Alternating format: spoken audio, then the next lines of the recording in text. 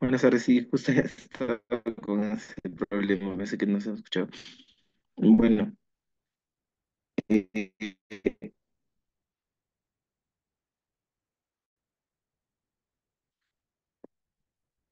vamos a empezar la clase del día de hoy. Está programada para este. Creo que es el, tema de soporte vital básico y avanzado también, pero hay que en cuenta que es un tema complejo y muy largo, ¿no? Y que involucra muchos temas, los cuales tienen que, ya, ¿no? Eh, sin embargo, pues, estemos atentos para finalizar la clase. El Juan Jonathan Gustavo, egresado de la maestría en gerencia de servicios de la salud, ¿no?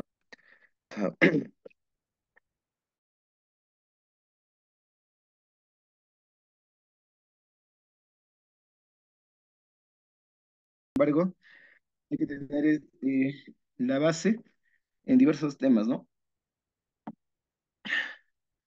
El hablar de el soporte vital básico y por ende el, el desarrollo del avanzado involucra conocer parte de patología cardíaca, eh, respiratoria y demás, ¿no? Entonces empecemos, ¿no?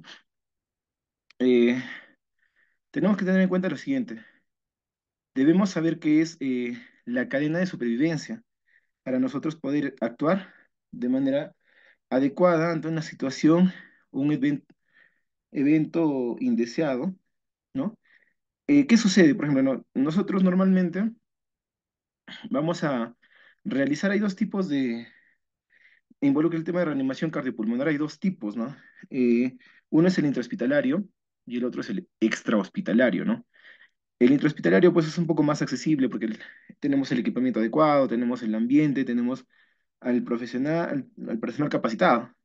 Sin embargo, eh, cuando Una, un- una reanimación cardiopulmonar es realizada a nivel extrahospitalario, viene quizás, es un, un- tema muy bonito y, un reto para, para nosotros, ¿no? ¿Qué se puede dar en cualquier lugar? O sea, ¿qué debemos tener en cuenta de, de esta lámina? Debemos ver de que para nosotros realizar un RCP, ¿qué debemos tener en cuenta? Que el paciente se debe encontrar, uno, en estado de inconsciencia, con la frecuencia cardíaca baja, con la frecuencia respiratoria disminuida, ¿no? Un paciente que, que a lo mejor estaba Ambos están parados en el semáforo con su colega y el paciente se desploma, ¿no? De, de la nada se desmaya y tú automáticamente ves, oye, ¿qué pasó? El paciente le, hablas, hace el cuestionario, el interrogatorio y no te responde. Está ahí inconsciente, le tomas el pulso radial, carotido, el que tú deseases, eh, escuchas, intentas ver este, el, tema respiratorio y tampoco, eh, va en disminución.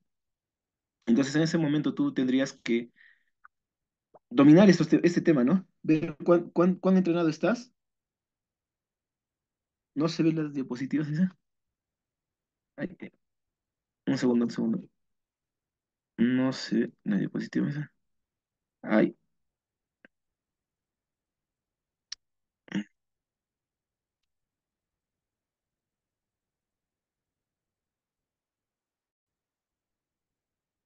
ya, ahora sí. Sí, sí, sí, ahora sí. Sí, sí, ahora sí. Sí, disculpen, la verdad que ahora sí. Hablaba. Nuevamente, nosotros, si queremos tener un buen dominio del soporte vital básico y avanzado, debemos tener en cuenta eh,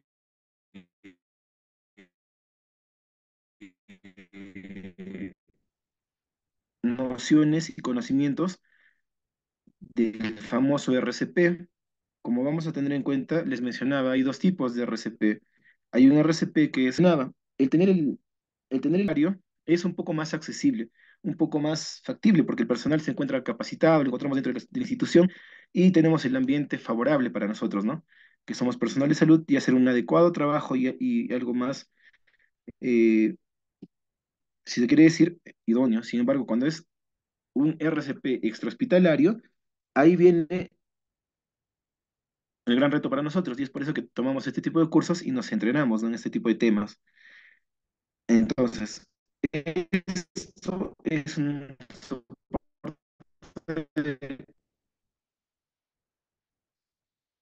de reanimación cardiolava, ¿no?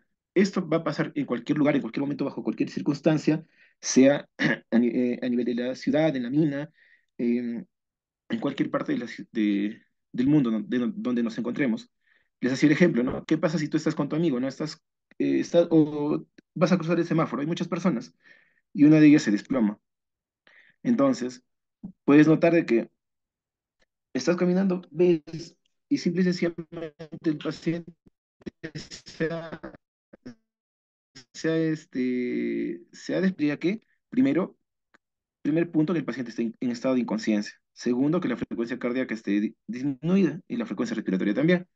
Entonces, yo le hago las preguntas o intento eh, moverlo para que el paciente, se pueda, la persona que se ha desplomado a tu lado eh, pueda reaccionar y no lo hace. Entonces, ahí viene, viene la importancia de este tema. Entonces, primero, como dice el primer paso ahí, nosotros de- debemos buscar y asegurar eh, la escena que debe ser segura, ¿no? Asegurar la escena. Imagínate, ¿no? Tú estás, estás caminando, como te mencionaba, eh, estás en el semáforo, se desploma una persona y se cae pues eh, en la pista.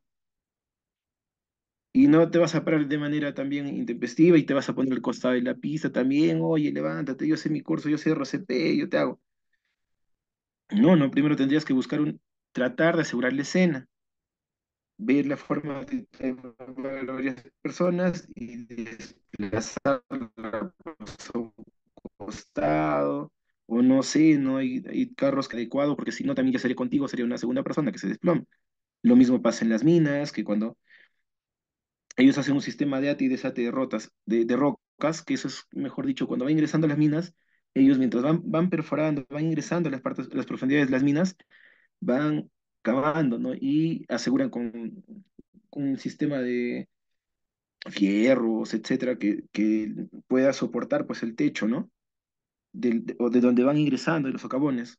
Sin embargo, imagínate si es que está ahí de casualidad, pues un paciente, está un trabajador ingresa, pum, y le cae una roca, y tú vas, estás de casualidad ahí como paramédico, estás como, no sé, ¿no? Como persona de salud responsable de un, uno- de un centro médico, pues de, de una mina, ingresas, te llaman, vas corriendo y no va a ser pues tan de manera vehemente de ingresar, oye, mira esta plaza, hay que levantar la roca, o sea, antes de, de hacer ello, primero asegura la escena, ¿no? Primero, ¿qué haces? Levanta la roca. Primero, fíjate en el techo, arriba, si hay algo, trata de poner seguro, ¿no? Y después ya verás la forma adecuada de, de mover, desplazar al paciente, etcétera, ¿no? Y ahí empieza esta cadena, esta cadena de supervivencia.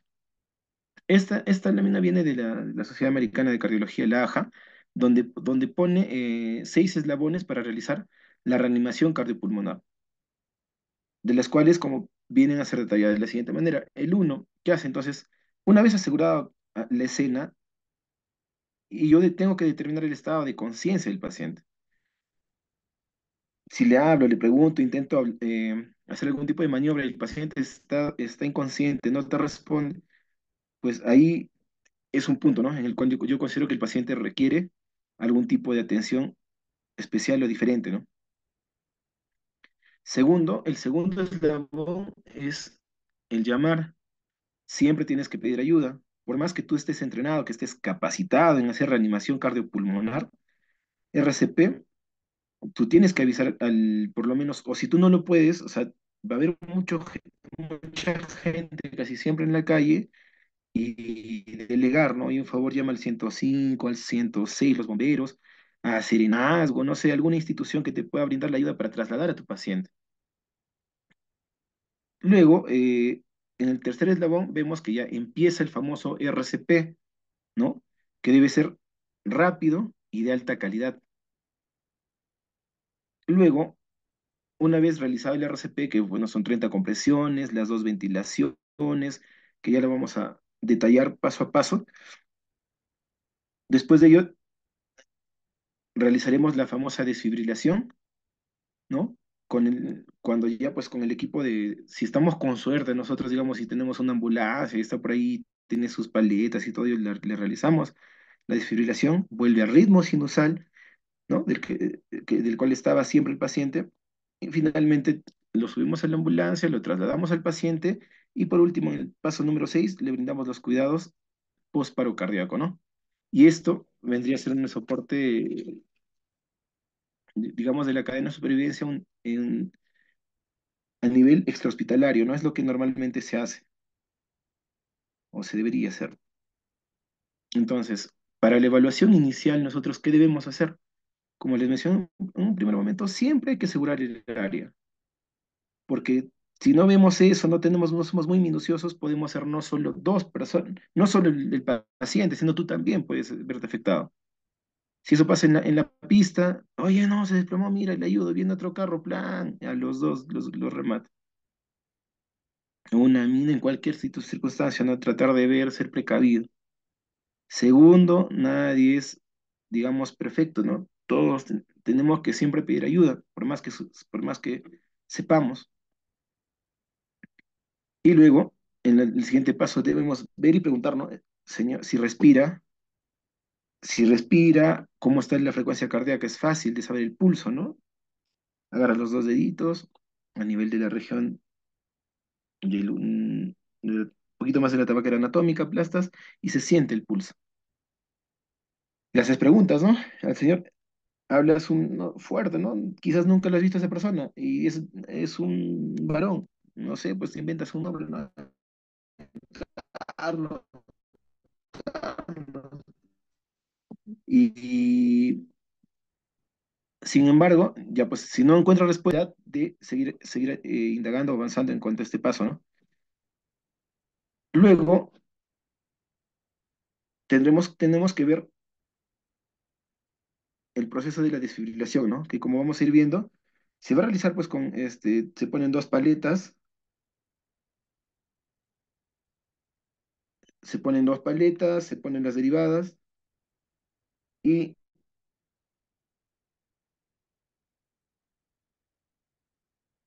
el, el desfibrilador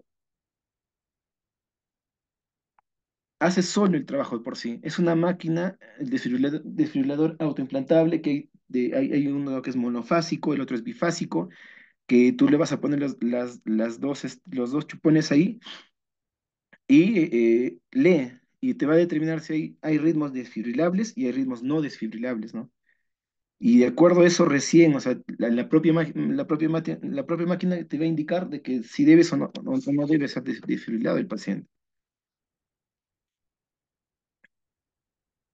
Eh, cuando nosotros nos, nos- nos referimos a realizar el RCP, tenemos que ver lo siguiente, ¿no? Que es la reanimación cardiopulmonar en sí como tal, involucra lo que son las compresiones y las ventilaciones, ¿no? Que estas deben ser de, alta calidad, deben ser de manera constante, ¿no? Y tenemos que notar lo siguiente, ¿no? Son 30 compresiones y dos ventilaciones. Las 30 compresiones, pues, eh, tienen parámetros, ¿no? Más o menos se realiza a nivel de la región precordial, como pueden ver ahí en, en la imagen, las, los dedos se entrecruzan, se ponen las manos en cuña y tenemos que ver esa posición perpendicular, como se está apreciando ahí. el, personal está, pone de manera, se, ubica de manera perpendicular.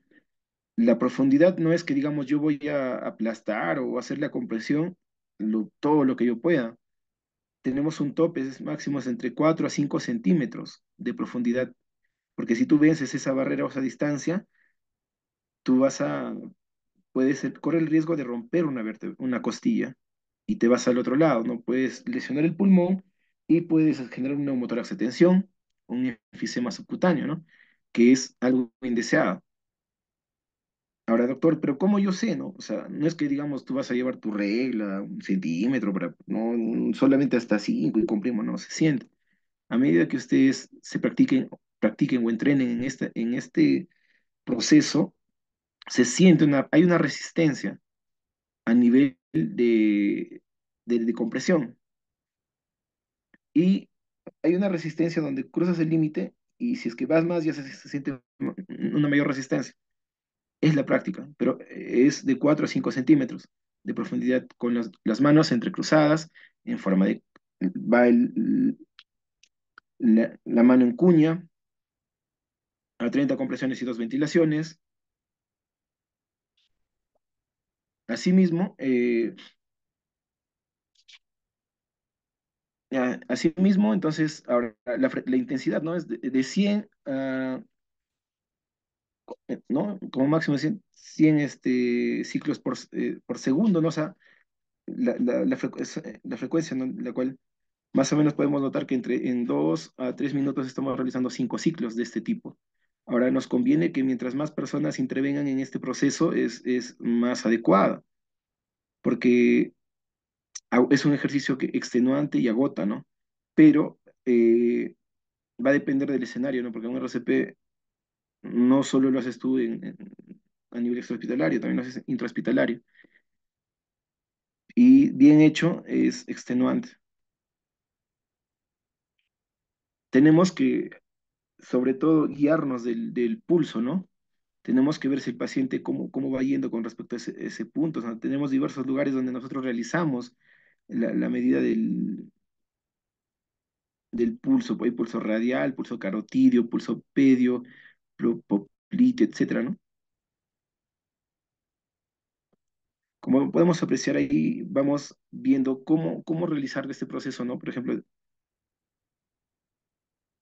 que es importante eh, ver lo que es este, la vía aérea, ¿no? En muchos casos, muchas personas eh, se, se ponen en un estado de inconsciencia, un estado también de, mm, de sopor. ¿Por qué motivo? Muchas veces la gente está comiendo y se atora también en casa.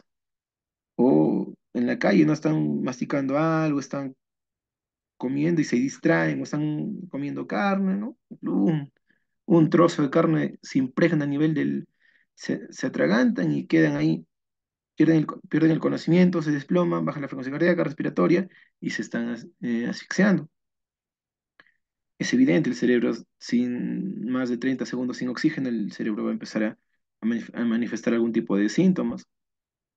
Entonces, en ese sentido, también es fácil, ¿no? Poder nosotros poner, hacer una revisión al paciente de la parte de la vía respiratoria. ¿Cómo hacemos? Pues lo podemos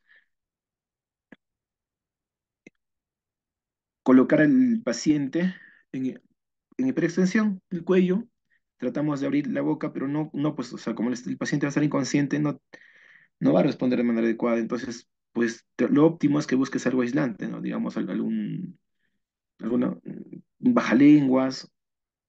Por último, ya pues tienes un lapicero, ver, ¿no? De repente, si logras acceder, ver, a lo mejor el paciente está con, algún objeto dentro de la, visible dentro de la garganta, y si tú lo puedes sacar con el dedo, genial, ¿no? Tú te conviertes en su héroe, ¿no? Porque Al retirar eso, vuelve la parte respiratoria y el paciente se repone rápidamente. Pero, no, básicamente ¿no? Eh, eh, eh, colocas la mano al frente, al frente, empujas con la palma y inclinas la cabeza hacia atrás en forma de hiperextensión, colocas los dedos debajo de la parte ósea de la mandíbula y levantas, ¿no? Para, para traer el mentón hacia atrás, o sea, como que hiperextiendes el cuellito, o sea, el paciente está en decúbito, decúbito eh, dorsal, hiperextiendes la- el cuellito, tratas de, ¿no? Eh, levantar la mandíbula y bajar el mentón. O lo mandas hacia atrás y te va a permitir la apertura, ¿no? Mucha gente que a veces, incluso cuando hay accidentes automovilísticos, accidentes de tránsito, eh, mm, sufren golpes, contusiones a nivel del macizo facial, de la nariz, de la lengua y algún tipo de coágulo se pone, le empieza a generar dificultad respiratoria y sencillamente con el dedo de la mano si tú logras hacer eh, eh, aperturar la vía aérea, retiras el coágulo y el paciente pueda respirar.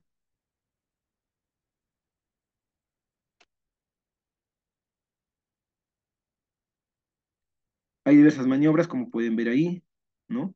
El objetivo fundamental es el como la ve, hay dos maniobras, la mani- maniobra de Rubén y la triple maniobra de Zafar. Pero si ustedes pueden ver, el objetivo fundamental es que extender el cuello, ¿no? extender el cuello, tratar de va- llevar el mentón hacia atrás y el paciente automáticamente empieza a abrir la, la boca, ¿no? Y aprovechar ahí, pero de todas maneras hay que ser cuidadosos, buscar si tienen, hay algún material aislante para básicamente encontrar algún cuerpo extraño u objeto extraño que es causa de, de insuficiencia respiratoria aguda o súbita y de procesos de conmoción o hasta desmayo, ¿no? ¿Por qué? Por, por hipoperfusión sanguínea.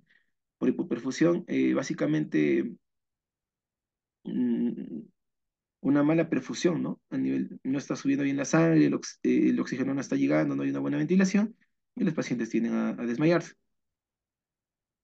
Y ahí también podemos notar, si es que pasa eso, también hay las maniobras, habrán escuchado hablar de la maniobra de Heimlich también, ¿no? Cuando hay pacientes que se atoran, que están ahí y fue un, proceso de tratamiento, ¿no?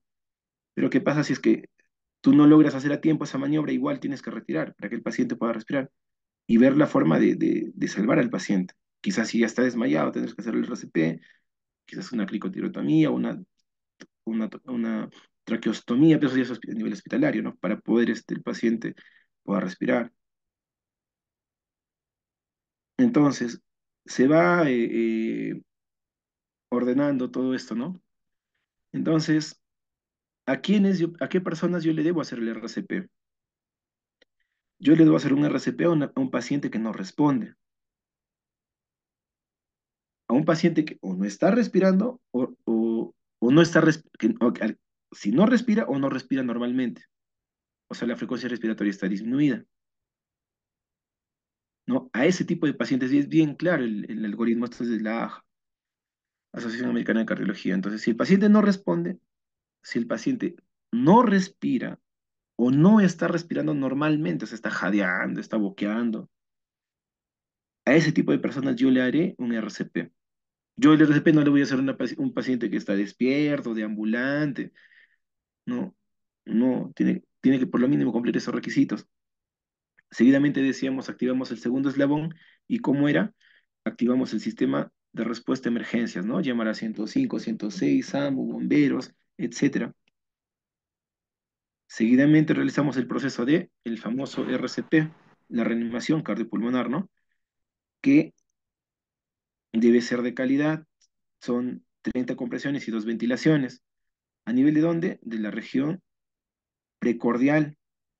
¿Cómo debe estar la mano? Como ven ahí, las manos entrelazadas, de manera perpendicular, con una eh, si encontramos si hay dos reanimadores, se pueden turnar, puede ser 15 compresión, 15-2, que eso solo aplica para personal adulto. Doctor, ¿es lo mismo hacer un RCP a un, paci- un- a un pediátrico, a un paciente pediátrico, una gestante?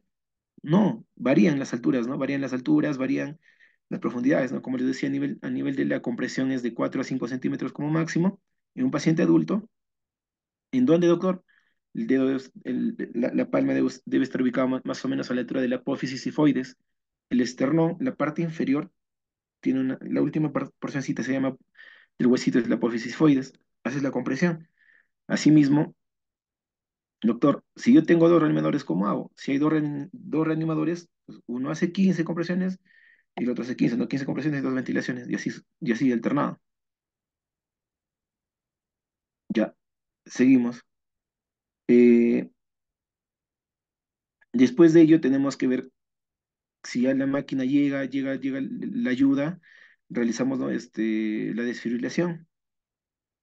Para eso tenemos que colocar bien los chupones, que son dos, ¿no? Y que básicamente acá la máquina es la que realiza el trabajo. Nosotros nada más debemos encargarnos de colocar bien bien los chupones. Y como les mencionaba, hay ritmos desfibrilables y hay ritmos no desfibrilables, que ahorita lo vamos a deta- detallar. Esto- esto- les voy a pasar esta lámina. Y acá vemos, ¿no? Acá esto es lo que podemos ver. Acá está donde te hacen la comparación entre adultos, adolescentes, niños y lactantes, ¿no? Por ejemplo, el, RCP en, en- en un paciente que es pediátrico no lo vas a hacer con la palma de las manos, lo vas a hacer con, con el dedo pulgar. Y eh, por, el riesgo de que, la costilla es más frágil y puede romperlo, ¿no? Igual, pues, de lo mismo, debes, el primer paso sea para los tres, debes asegurarte que la zona eh, sea segura. Debe reconocer que el paciente esté en una parada cardíaca, ¿no? Comprobando si el paciente responde o no responde.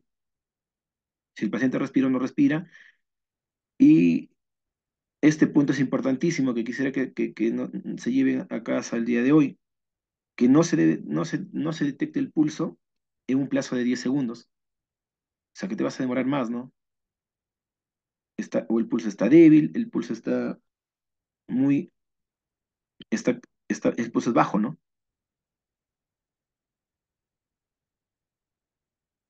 Ahora, y luego se activa el sistema de, de respuesta a emergencias. Como bien menciona acá, lo que nos concierne acá, ¿no? En pacientes adultos y adolescentes, si ya usted, si usted está solo y sin teléfono móvil, deje a la víctima para activar el sistema de, de- respuesta a emergencias y obtener el desfibrilador autoimplantable antes de comenzar el RCP. Y si es que tú en el escenario, en el, en el, en el ambiente, estás, este, hay gente, debes mandar a alguna persona y para que, para que traiga el desfibri- desfibrilador o avise o dé parte al, al sistema de, de ayuda, ¿no? De, sea, el personal, sobre todo lo que es el, el SAMU, ¿no? Que, que tiene ahí, en todo lugar encontramos ambulancias del SAMU, en su mayoría de lugares, que están equipadas y nos traigan el desf- desfibrilador, ¿no? Y brindar, o sea, el- el- la, mejor atención. O sea, lo que quiero que entiendan es, ¿por qué, doctor, la importancia? ¿Por qué me hablas mucho de desfibrilador? ¿Cuál es su importancia? Es que generalmente cuando hay un paciente sufre una parada cardíaca, el paciente, el ritmo, el ritmo cardíaco se altera, no va a ser el mismo, ¿no? O sea, normalmente el ritmo es sinusal. Sinusal quiere decir que tenemos en el EKG tenemos una onda P, Q, R, S, T, bonito, ¿no? Todo su sistema tiene una frecuencia cardíaca de 60 a 100, si es menos de 60 es bradicardia, más de 100 taquicardia, que la onda P tiene, tiene, alturas y segundos, ¿no? Sin embargo, cuando una paciente, un paciente sufre una parada cardíaca, se altera. Generalmente la frecuencia cardíaca está muy elevada o, o no hay frecuencia cardíaca, o es muy lenta. Entonces, con el, con el desfibrilador al corazón, tú le das, con, cargas las paletas como han visto en las películas o, si lo han hecho, no me dejarán mentir, agarran y la cargan de electricidad y y el paciente como que activan el, corazón nuevamente vuelve a, su ritmo. Ahora, en ese volver el, ritmo es como que le dan electricidad en el corazón, es una, fisiológicamente es una bomba aspirante, impelente, que bombea, que al comprimirse eh, emana sangre y también eh, es un sistema eléctrico. Es como una batería dentro del cuerpo que está ahí. El corazón nunca ha dejado de latir, por más que tú estés durmiendo, estés en actividad, desde que has nacido hasta que te mueres, el corazón no va a parar. Tiene un, sistema eléctrico, tiene un nodo sinusal, nodo auriculoventricular, tiene sus fibras de Purkinje que transmiten la, la electricidad a, cierta, a, cierta, a ciertos valores determinados. Pero cuando estás en una parada cardíaca, todo este sistema armonioso se altera. Y tenemos que volver a su ritmo normal, o sea, lo desfibrilamos. Y el, corazón vuelve, vuelve, pero a veces alterado o a veces, y para eso ya también requerimos del uso de medicamentos. Como la adenosina, amiodarona, ya otros tipos de fármacos que, una reversión farmaco- también farmacológica, pero eso ya se hace a nivel hospitalario. Eso es lo que, por eso es la importancia de hablar de desfibrilador. Ahora, como les mencionaba, es una máquina que va a realizar el trabajo por nosotros. Solamente hay que saber colocar en los puntos. Pero como ustedes pueden ver también, nos hemos hablado a nivel de adultos, también a nivel de niños y lactantes, ¿no? Varía, ¿no? Tenemos que ver ahí si el colapso, por ejemplo, es presenciado por alguna persona, debe seguir los pasos para el adulto y adolescente que aparecen en la izquierda. Y si el colapso el colapso no presenciado, no es presenciado, realiza el, el RCP durante dos minutos, ¿no? Es un poco diferente. Nosotros lo que normalmente vamos, estamos abocados en el paciente adultos, ¿no? Que es nuestro tema en sí. Esto es lo que yo les, les quería mencionar, ¿no? Acá, esto es el punto de, quiebre, de, saber, ¿no? En qué, en, en qué va y cómo va, ¿no? Nosotros nos estamos enfocando netamente en adultos y adolescentes. Como les mencionaba, tenemos relación de ventilación y compresión, ¿no? Del RCP. Como yo les mencionaba, son 30 ventilaciones y son dos compresiones, ¿no? 30 compresiones de manera perpendicular, los dedos entre, las manos entrecruzadas, a una profundidad de 4 a 5 centímetros, en la región precordial, sobre todo a nivel de la apófisis sifoides, y hacemos 30 compresiones y cuentas 1, 2, 3, 4, 5, 28, 29, 30, ¡fum! y las dos ventilaciones. Generalmente nosotros, este, si somos personal de salud y tenemos, estamos con suerte, vamos a tener el famoso, el, el ambú, o la llamada también bolsa, válvula, mascarilla, ¿no? El mal llamado ambú, si no es bolsa, el, es el equipo de bolsa, válvula, mascarilla, donde haces tus compresiones y luego las dos ventilaciones serían eh, con, con, ese, con ese equipo. Ahora, por eso el COVID se, se, suspendió, ¿no? Todo debería ser, eh, te ponen tu máscara de reservorio alto flujo y, ya, ¿no? Y el oxígeno va a estar ahí al 100% abierto para, para, para brindar el aporte oxigenatorio al paciente. Pero tú vas a andar con tu balón de oxígeno, no. Ah, y con suerte, bueno, dependiendo si estás con una ambulancia, sí, ¿no? Y con suerte con tu bus, sí, si estás en una ambulancia siempre va a haber. Y si estoy en la calle,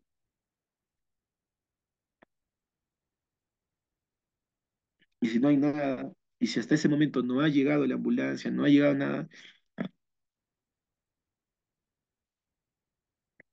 caballero, tendría que ser boca a boca, ¿no? Ahora, pero lo óptimo es que tú, en donde estés, llegue, ¿no? El ayuda, el soporte, para hacer un trabajo más eficiente, más adecuado. Doctor, pero con este tiempo, lo del COVID, ¿qué tal? Yo intento dar la respiración y me contagio de algo. Sí, no, sí, definitivamente no puede, no sabemos, ¿no? Sabemos que la flora, la flora bacteriana de la boca de las personas es contaminada. Es más contaminante una mordedura humana que una mordedura de perro. Es más sucia la mordedura humana. Y da la apariencia que es al revés, ¿no? Sin embargo, no es así. Bueno, cuando tenga ese tipo de contradicciones y si nos, y si nos pasase algún día, solamente la razón de ser de, nuestro, de nuestra carrera, de, ¿no? en la carrera que tengamos nosotros, es el, el, el amor al prójimo, prójimo, ¿no? Entonces veamos a nuestros pacientes como si fueran nuestros familiares. Entonces, en ese sentido, si tú ves un paciente, no tienes, no tienes ambú, no tienes oxígeno, necesita oxígeno el paciente, no ha llegado nada, o está en camino recién. Si es otra persona, ¿le daría respiración boca a boca? Yo creo que no. Si fuera tu madre, tu padre, algún hermano tuyo, familiar, no dudarías en hacerlo. Entonces, ya depende de uno, ¿no? Entonces, ahí viene, pero siempre tratemos de, de apoyar a las personas. En cuanto a la relación de lo que es la velocidad, ¿no? Sobre todo de la compresión y ventilación, eh, esas compresiones deben ser eh, continuas con una frecuencia entre 100 a 120, ¿no? De 100 a 120 compresiones por minuto. Y, ¿no? La frecuencia de compresión, bueno, de 100 a 120 eh, compresiones. Lo que les mencioné, les quería mencionar y aclarar acá va este punto. Que se lleven esto a casa, sea un, uno o dos reanimadores cuando estemos haciendo el RCP en pacientes adultos y adolescentes, así haya uno o haya dos reanimadores, la frecuencia del el ciclo es de 30 compresiones y dos ventilaciones. Así haya uno o así haya dos adultos. ¿No? Está Pepito y, y María. Pepito hace 30 compresiones, dos ventilaciones y entra María. También hace las 30 compresiones y dos ventilaciones. No hay variación, así hay uno, así haya dos. Sin embargo, Como pueden ver acá, el RCP en niños, en lactantes, eh, si ven, ahí sí va a variar, ¿no? Si hay un reanimador, la va a hacer, la relación es de 30 compresiones y dos ventilaciones. Pero si tenemos dos o más reanimadores, se reduce, ¿no? Se va a hacer 15 compresiones y dos ventilaciones. Ahí va la diferencia. Por eso es que les mencionaba que no es lo mismo un RCP a un paciente adulto que un paciente pediátrico. No es lo mismo eh, el RCP a, un paciente, a una paciente que es gestante, ¿no? Porque, por ejemplo, si es gestante, que le puede pasar también, no le vas a hacer el, el RCP, no le vas a hacer, pues, el doctor a mí me dijo que es a nivel de la y la planta, el RCP y, y, al final te terminas este, adelantando el proceso de parto. Entonces hay que tener cuidado y ser precavido. ¿no? Ahora, pasaremos a, explicar el, uso del, desfibrilador autoimplantable, ¿no? Como les mencionaba, es es, una máquina especial que va a haber por medidas, ¿no? Y tiene, hay de 200 joules, el monofásico, el bifásico de 360 joules, eh, que van a ayudar a volver el corazón a su ritmo, a su ritmo adecuado, o intentar volver, ¿no? Y que completará con medicamentos. Como, vamos a poder acá, vamos a ver, ese es el equipo, eh, en la parte de la figura A, vemos eh, el, el equipo vemos el maniquí, vemos las paletas, vemos acá los chupones que te van indicando, ¿no? Como puedes apreciar, si tú tienes un tórax descubierto, uno va a la parte lateral externa y el otro casi a la altura de... Ahorita vamos a verlo con detalle. La parte inferior, ¿no? Son como puestos. Entonces, ¿qué hacemos? Esto siempre va a estar en un maletín o, o, o, en la ambulancia, está en una caja, está ahí empotrada. Abrimos, encendemos el desfibrilador, luego exponemos el pecho. La persona debe estar descubierta, ¿no? en la vida no vas a hacer un RCP con el paciente con su, con su casaca, con la chumpa, con el polo, no tienes que descubrir. Ahora, el pecho, ¿cómo debe estar? ¿Seco o mojado? El pecho debe estar seco. Si está mojado, utilizas algún, algún toalla, algo para, para secarlo. Y luego retiras los parches de los medicamentos. En el tercer paso, que es? Abres las almohadillas del desfibrilador.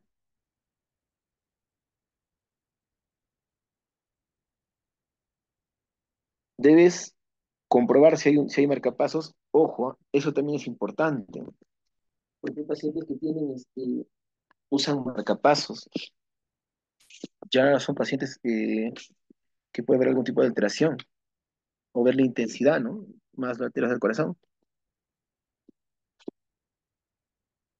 Y luego vemos en el cuarto paso donde aplicas las almohadillas. La almohadilla, una de ellas vas a... comprar? Una almohadilla le vas a aplicar a, a nivel de la parte super, superior derecha del pecho, sobre por encima de la, de, la, de la región mamaria, como pueden apreciar en la imagen. Sea, hablamos en la mama, o región pectoral. Si, mujer, es la mujer es la mama, si es varón en la región pectoral, ¿no? por encima del pecho. Como pueden, pueden ver ahí, casi entre la, entre la axila, entre la axila y el pecho. Y la segunda almohadilla, ¿dónde la vas a colocar? En la parte inferior izquierda del pecho, ¿no? Por debajo de la axila.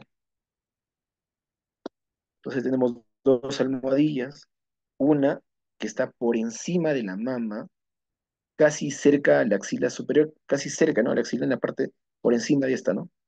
En cambio, la otra almohadilla se coloca por debajo de la mano y cerca, cerca también a la axila.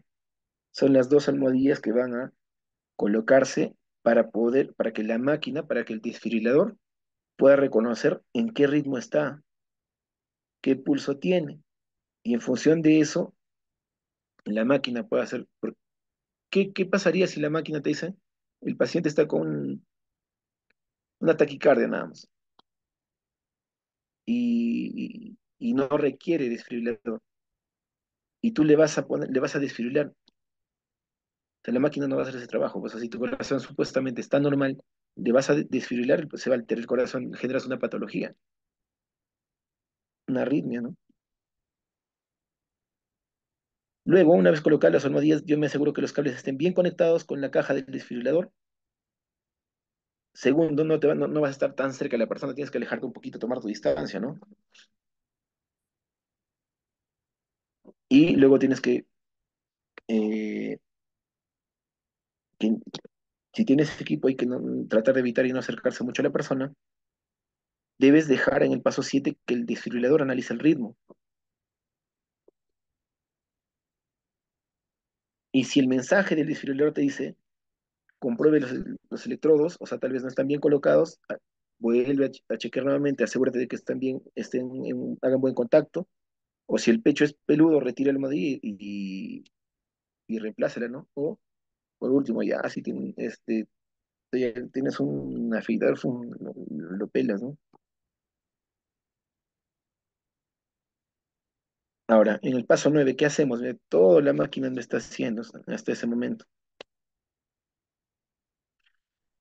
Me, si el mensaje del desfibrilador me dice descarga, debo tener en cuenta dos pasos.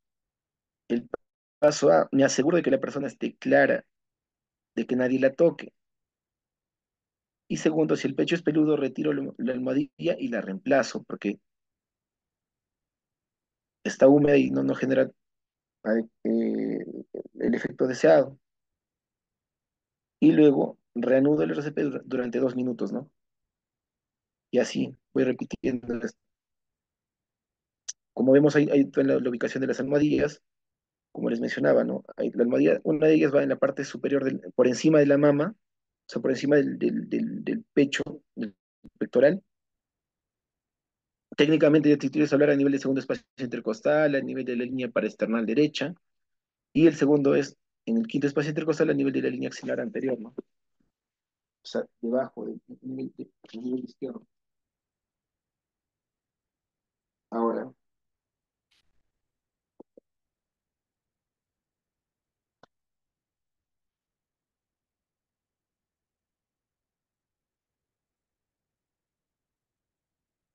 yo les mencionaba este, el tema del, uso del desfibrilador. Y es importante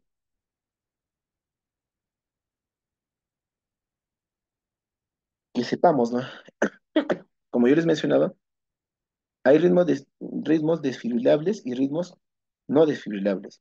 Entonces, esta máquina, cuando te haga el trabajo, ¿cuáles son los ritmos desfibrilables, doctor? Encontramos a la fibrilación ventricular, fibrilación ventricular y a la taquicardia ventricular sin pulso. Si a mí me salen estos dos tipos de, digamos, de diagnósticos, porque la máquina lo va a leer y te va a indicar, yo procedo a hacer este, el uso del aparato. Y el objetivo es que el corazón vuelva a su estado normal.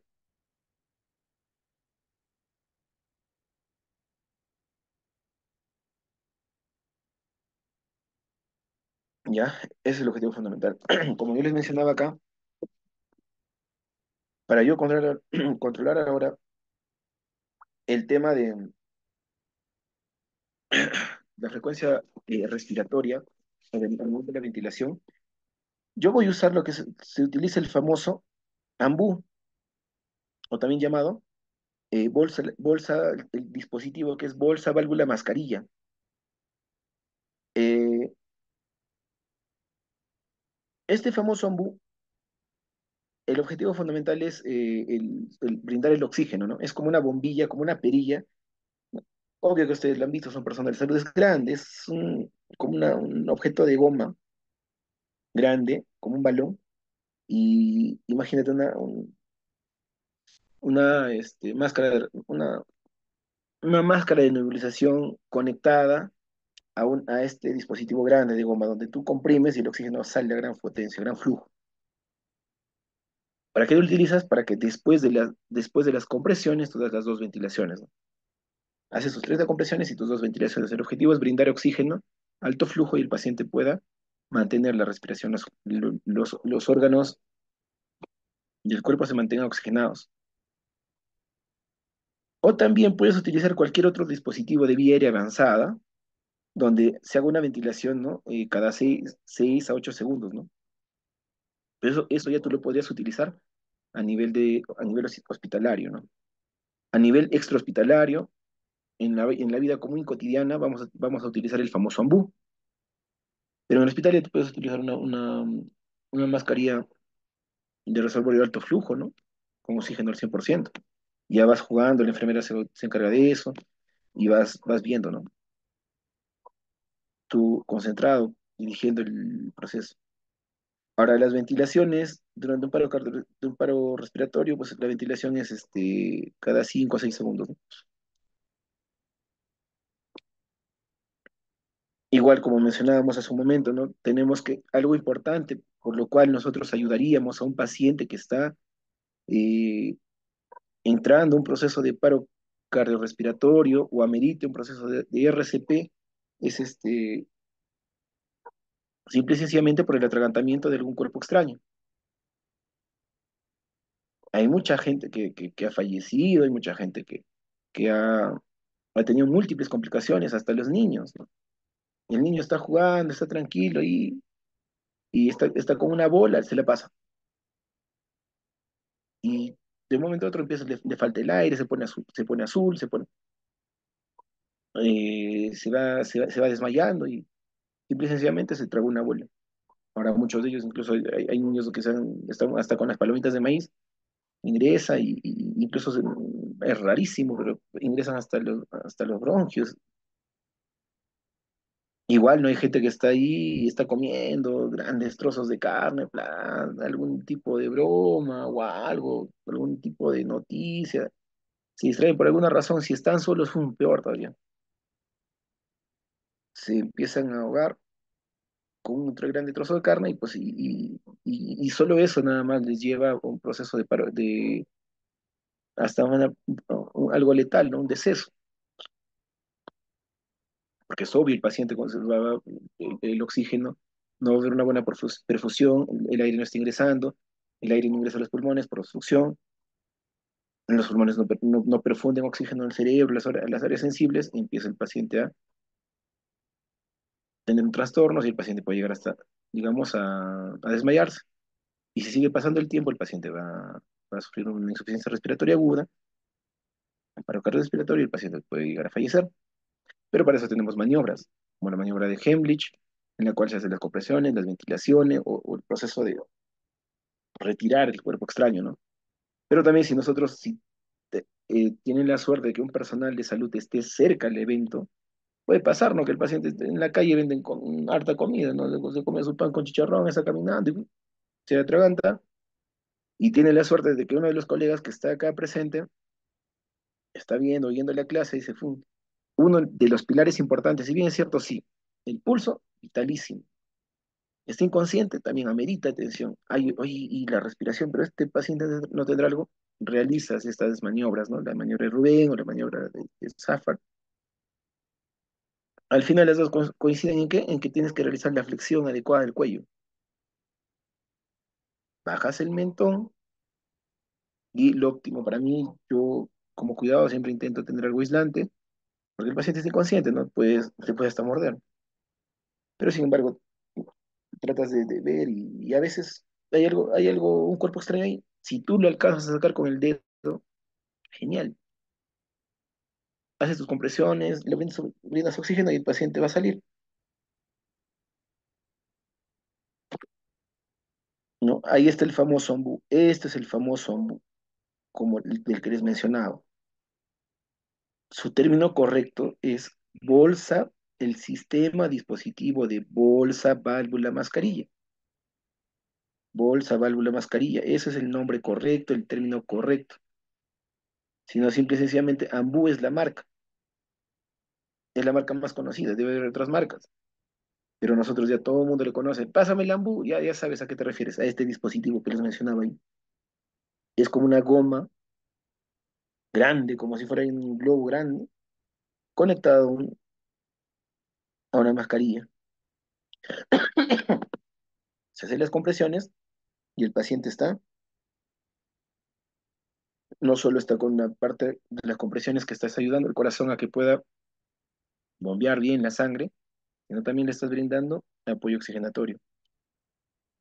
Y vamos a ir en, un proceso más avanzado, ¿no? Ya vemos si es que ya a nivel intrahospitalario, si, el oxígeno no puede ingresar o tiene mucha limitación, tenemos, se, puede- realiza la, lo intubas al paciente, ¿no? Con diferentes tipos de dispositivos de tamaño, grosor, que van a ayudar al paciente a una mejor, digamos, soporte oxigenatorio. Lo conectas a una máquina, a un dispositivo, programas, y el oxígeno está yendo de manera adecuada. Ya no hay necesidad de estar es- este, utilizando el ambú y, nada- y demás. Ahí vamos a ver la cánula nasofa- nasofaringea, y desde la parte externa, pero eso ya es a nivel hospitalario, ¿no? Eso ya sería un sueño tenerlo ahí, en- digamos, puedes tenerlo, sí, ¿no? Pero aplicarlo y, y ya mover todo eso es eh, lo adecuado a nivel hospitalario. Si se hace, es un dispositivo avanzado de vía aérea, ¿no? ¿Y cuál es el objetivo fundamental? Disminuye el riesgo de aspiración, ¿no? ¿Por qué, por qué tocas este punto? O sea, eso es a nivel hospitalario, ya porque el paciente ya está más tiempo ahí. O sea, si disminuyes el riesgo de aspiración, una de las complicaciones que pueda tener este paciente al estar, al estar en estado de inconsciencia, que el paciente puede hacer aspiraciones, neumonía aspirativa, incluso el paciente puede estar en estado etílico. El paciente está en estado etílico y el paciente al final puede llegar hasta aspirarse, ¿no? Vomita y el vómito luego se lo pasa, y el vómito llega al pulmón y es lo más complicado que puede haber, porque te hace una neumonía aspirativa donde ya tú no, no solo utilizas beta-lactámicos, sino también tienes que utilizar este, antianaerobios y esto se puede complicar y el paciente aparte de la patología que tiene, de fondo ya te, te generas una, una más que es la, una neumonía aspirativa. Y es por eso la importancia de, de- de ver, ver la vía aérea, de ubicarse a dónde estamos, ¿no? Porque en este caso a nivel hospitalario pues es más sencillo ya. Ya cuentas con tu anestesiólogo, cuentas con tu médico intensivista, emergenciólogo que te van a ayudar a, a realizar un mejor trabajo. Hay dispositivos avanzados que utilizan una técnica, ¿no? El ADH, ADFH, ¿no? Ya donde son maniobras que ya son hospitalarias. Nosotros más nos entrenamos para la parte extrahospitalaria, ya que es ahí donde nosotros vamos a tener más campo de acción, ¿no? Ahora, nosotros debemos de, o sea, puede ser el caso también donde mm, ante un accidente de tránsito, algún accidente de gran magnitud, nosotros podemos notar que el paciente muchas veces está destrozado, el macizo facial, los dientes, están con muchos coágulos, con mucha dificultad respiratoria. Nosotros vamos a notar que va a ser necesario incluso el proceso de, un- de una intubación endotraqueal o una traqueostomía también. La intubación endotraqueal se realiza para cuando el, paciente requiere estancia hospitalaria prolongada. ¿Y con qué objetivo, no? El objetivo es brindar una ventilación adecuada con bolsa, válvula, mascarilla pacientes inconscientes, ¿no? No, lo utilizas cuando hay, cuando esta no se puede hacer, ¿no? Lo utilizas cuando hay una irritabilidad, ¿no? Cuando hay una dificultad para eso. O cuando no hay eh, reflejos de protección de la vía aérea. Esto debe ser colocado por per- personal capacitado. Idealmente se debe colocar antes del, en menos de 10 segundos y del 5 del 5 del 6 al 25% son mal colocados, ¿no? Pero generalmente, o sea, cuando nosotros hablamos de intubación endotraqueal, utilizamos este, estos dispositivos para pacientes que tienen una, estancia hospitalaria prolongada. O sea, por alguna razón, ¿no? No sé, está inconsciente, sí, es- le has hecho el RCP y todo genial, pero el paciente, no sé, le dio un- una una patología, ponte, no sé, un stroke, ¿no? No sé, por otro, otro tipo de causas, ¿no? Porque le dio un, le dio un comúnmente mal llamado derrame cerebral y concomitante con otras patologías, el paciente se desploma y esos pacientes van a requerir otro tipo de manejo, la estancia hospitalaria va a ser más larga, va a ser prolongada y para eso tú no, no, no vas a hacer, no vas a estar este, todo tre- 30 compresiones de ventilaciones, no, tienes que utilizar un, un dispositivo muy avanzado. Entonces, en ese sentido, ya te conviene realizar una intubación endotraqueal para que el paciente pueda eh, estar ¿no? ya conectado a una máquina y tener la recuperación adecuada. Tenemos un equipo que es el capnógrafo que mide ¿no? La frecuen- la frecuencia, eh, el, el ciclo, ¿no? Y si está bien o no colocado el- el- los dispositivos respiratorios avanzados. El nivel de oxígeno te, te valora más adecuado. No hay estudios en los que demuestren que el, el tiempo más oportuno para la, colocación de dispositivos de vía avanzada.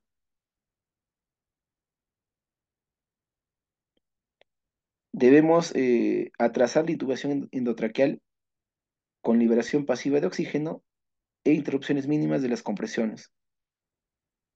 Estas se asocian a la mejoría en la sobrevida y estado neurológico del paciente. Esto es con respecto al, al soporte eh, vital, ¿no? Soporte vital básico. O sea, básicamente en este, en este tema, en este proceso nos indica a conocer, nos indica a familiarizarnos con el famoso RCP, a qué personas hacer, cuáles son los eslabones, qué se debe hacer, cómo debo hacer el proceso de, el primer soporte, el primer, la primera ayuda, el primer, la primera atención que va a recibir un paciente eh, inconsciente, un paciente, ¿no? Eh, con una frecuencia respiratoria baja, pulso débil y un estado no adecuado. Cumplir los, los lo importante es saber de cumplir los eslabones de la Sociedad Americana de Cardiología, la cuales son seis para un proceso extrahospitalario, conocer cada tipo de proceso, familiarizarnos con, con la, intensidad, la frecuencia, con la profundidad de las, ¿no? Es que también, imagínate, ¿no? Al, al realizar tu RCP todo emocionado, vas y quiebras el, lo que es el, una costilla y un pulmón, y se, te- daña un- una co- costilla. Dañas la pleura y al final el, pulmón del paciente va a estar dañado. Entonces, hay que tratar de tener por lo menos las nociones básicas de esta patología. ¿Alguna pregunta? Para, no, este tema es un tanto bonito y largo, ¿no? ¿Cómo van, chicos? ¿Alguna pregunta? Me gustaría que eh, podamos... eh,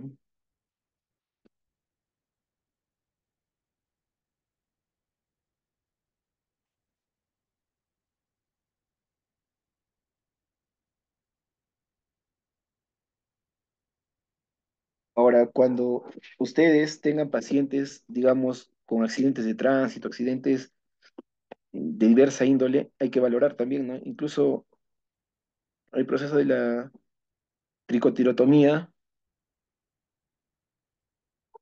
eh, se puede realizar y salvar la vida de los pacientes, ¿no?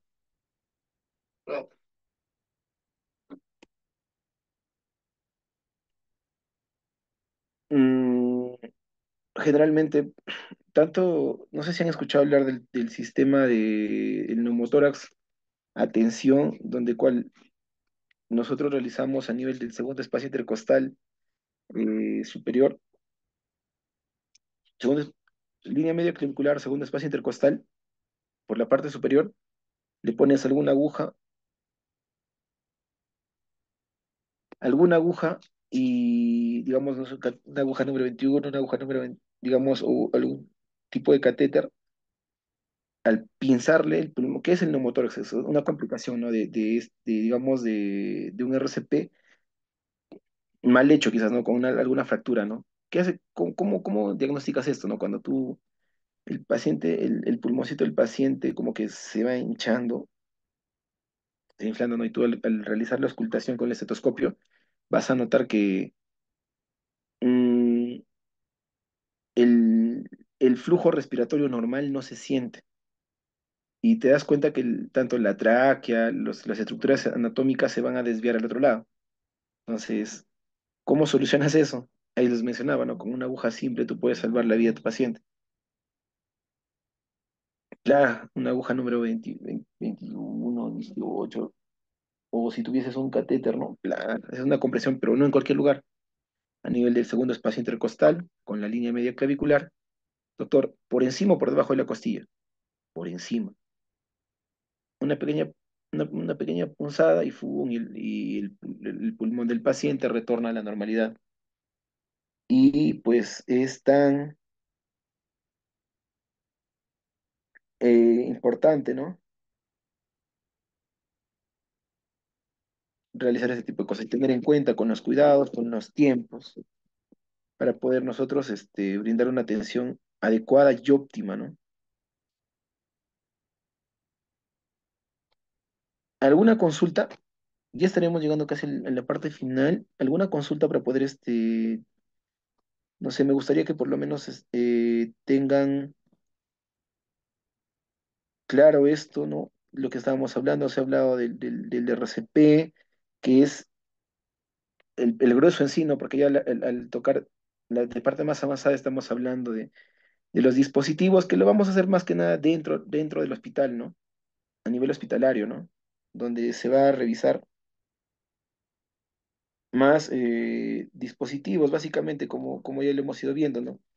Han, han no- han notado que hay un proceso eh, de la, de la traqueostomía, ¿no? Donde se va a notar de que, como les creo que tengan claro ese concepto, lo utilizan cuando el paciente va a tener una estancia hospitalaria larga. Y también, imagínate, si tu paciente, como les mencionaba, ha tenido un, un trauma, una fractura de, man- de, de, de- de mandíbula, tú automáticamente no lo vas a, no vas a poder realizar tu maniobra de, ventilación, perfusión, no vas a, no vas a utilizar tu ambú, ¿no? Porque el paciente va a estar sangrando, incluso puede haber hasta coágulos. Y necesariamente se va a ver obligado a qué? A realizar un proceso de, la eh, cricotirotomía, ¿no? Que se, se realiza un- una pequeña abertura, lo puede hacer hasta con un lapicero, ¿no? Algo estéril, con una aguja plá, y le, va- le vas a permitir respirar a tu paciente. Y si estás a nivel hospitalario, pues incluso te van, a realizar un proceso de traqueostomía y van a, van a, van a aperturar una vía a nivel de la tráquea para que el paciente pueda respirar normalmente y vuelve a su estado basal. De emergencias es una cricotirotomía, ¿no? Que se hace entre, entre el tercer y, tercer y cuarto anillo traqueal lo utilizas en, en la membrana, ¿no? En el medio. ¡plum! Y al hacer esa apertura, el paciente puede estar asfixiándose, porque imagínate una fractura de, de- de mentón, de, de- mandíbula superior, inferior, el paciente pues sangra, sangra montones, tú le tienes que tratar de suturar, ver la forma, ¿no? El paciente tiene que ir a cirugía de cabeza y cuello, de, plano, pero si es que tiene coágulos que van a estar observa- eh, eh, estorbando, generando molestias, dificultad para respirar al, paciente con un sangrado activo, sí o sí vas a tener que realizar, digamos, una, una cricotirotomía, ¿no? Plum. Y el paciente puede quedarse inconsciente porque los coágulos pueden obstruir y el paciente puede quedarse en un estado de inconsciencia. Entonces, en ese sentido, ya pues uno tiene que ver, ¿no? Llegar lo más rápido posible al pedir, pedir ayuda, ¿no?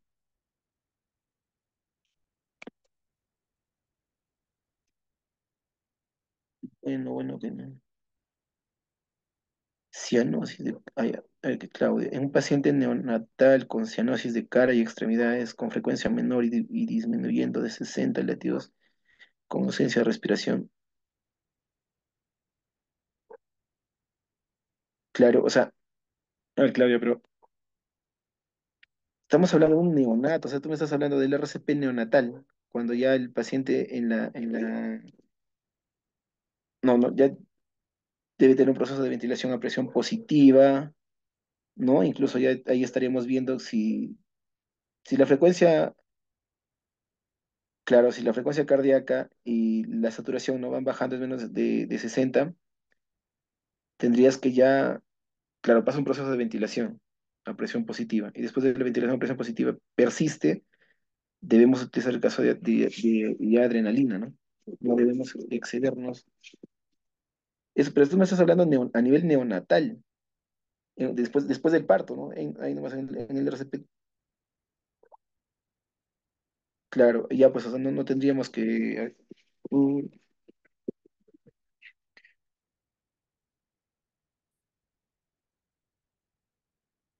claro, claro, ya en caso de parto domiciliario alejado.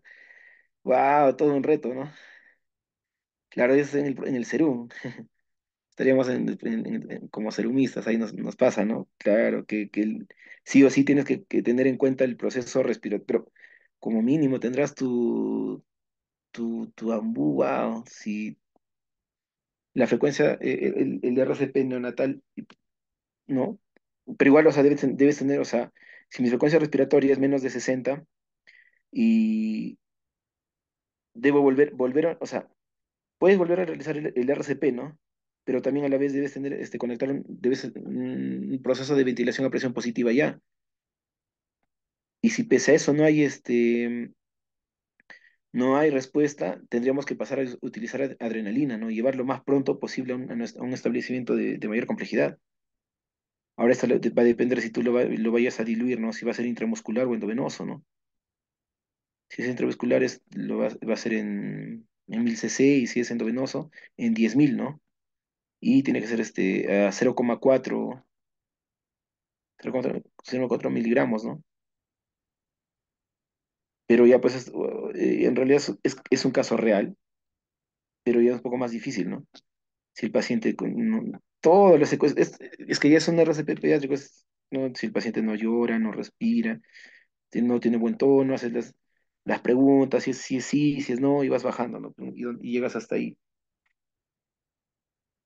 Tendríamos que Tu pregunta es concisa, ¿no? Mm, sí, vuelves a hacer el RCP, no hay respuesta. Mantener, tendrás que venir bolseando. Si es que no tienes, no tienes este, un ventilador mecánico, no tienes algo, tendrás que bolsear desde donde estás hasta llegar a un centro de salud. Pobre mano, tienes que bolsear ahí. No ten, más que tu ambú, ahí a tu licenciada pedir adrenalina y, y colocarla, ¿no? No creo que en una zona alejada vas, a tener, digamos, a no ser que tu equipo tenga un desfibrilador y también hagas lo mismo, ¿no? Y, ya nos, y tendremos que ver, ver la forma de utilizar el, el, Pero siendo sinceros, una zona alejadísima. Es raro, hay pocas ambulancias que tienen. realmente esto es en, la ciudad, ¿no?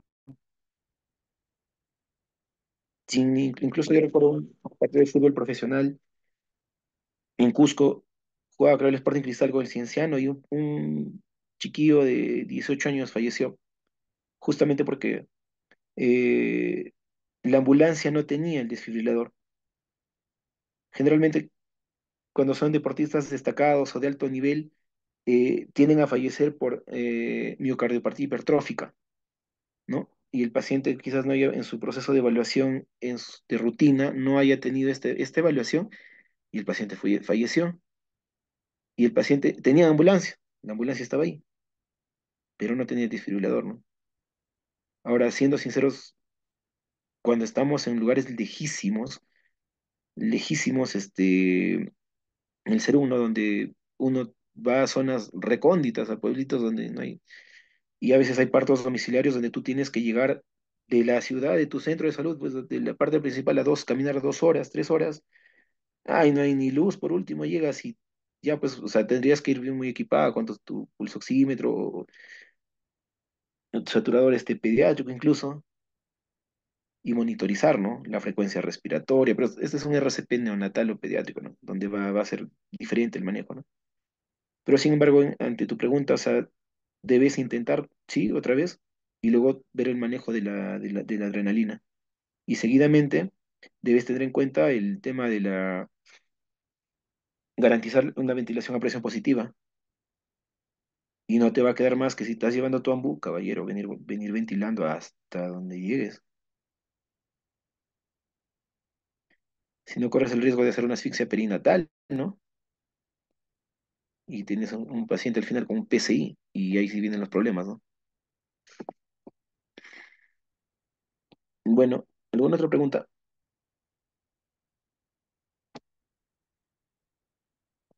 Sí, Claudio, es muy bonito, ¿sabes que El RCP es bien bonito, el pediátrico es más, es más bonito, el RCP pediátrico, muy bonito.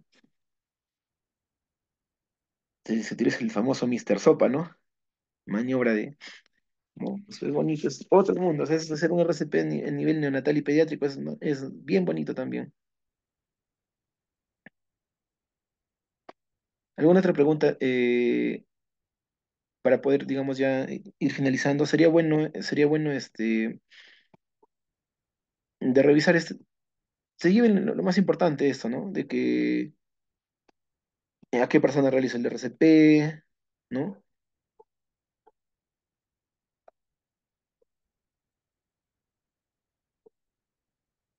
La frecuencia, ¿no? Utilizar el, qué es el el aparato de desfibrilación, las ventilaciones, las compresiones. ¿Alguna otra pregunta más para finalizar el, tema?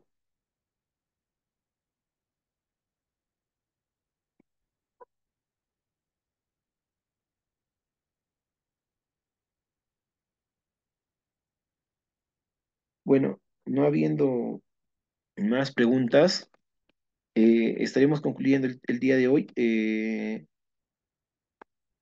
sería bueno que tengamos alguna otra charla más y donde podamos tocar es, el tema del soporte vital más complejo, porque, o sea, tengamos, revisemos más, más, más temas. Es muy bonito, realmente, o sea, pero tenemos que tener una base grande y sobre todo la, una base previa, ¿no? Para, digamos, a, medida que nosotros este, profundicemos más, es cuando tengamos más, este, con todo sobre una base adecuada, ¿no? Recuerden, chicos, que, ojo, la desfibrilación, quiero recalcar con esto ya para finalizar, se ha hablado tanto del, des- del equipo de des- del, del desfibrilador, que es una máquina, que básicamente la máquina te resuelve la vida, ¿no? Hay que ser sinceros. Incluso yo fui a una capacitación el año pasado donde llegaron unas, unas, unas ambulancias de Japón y tenían un desfibrilador. No era el convencional. El convencional es de 360 joules o el de 200 joules. Ese tenía doscientos doscientos noventa Igual, tú te conectabas las almohadillas, las dos almohadillas, y te, la máquina te leía y te dice ritmo, paciente, acredita desfibrilación, ¿no? Bla, y te arrojan el cual, pero tiene que ser, que que saber por, por, por cardiología o por lo que es el EKG, cuáles son los ritmos desfibri- desfibrilables y los ritmos no desfibrilables. ¿Y tú a quién vas a realizar, con quién vas a utilizar la máquina? Con los ritmos desfibrilables. ¿Quiénes son estos? Fibrila- fibrilación ventricular y la taquicardia ventricular sin pulso. A este tipo de ritmos se les va a eh, brindar el famoso, la desfibrilación y eh, vamos a revertir el estado alterado del corazón para normalizarlo, ¿no? Pero no solo, no solo queda ahí, sino también utilizaremos a nivel ya en el, en el sexto, en el sexto eslabón, cuando ya está a nivel intrahospitalario, utilizaremos medicamentos como la miodarona, ¿no? La adenosina, que van a ayudar a regular la frecuencia cardíaca y tratar de volver a la normalidad. Doctor, eso puede ser hasta pregunta de examen, ¿no? Te dicen, se tiene paciente varón de 15 años que se, súbitamente se desploma en, un semáforo de la, calle principal de la ciudad de Trujillo. Y eh, se le, realiza todas las maniobras del proceso de RCP y al realizar el, uso de la del desfibrilador, arroja que tiene una eh, una taquicardia ventricular polimorfa.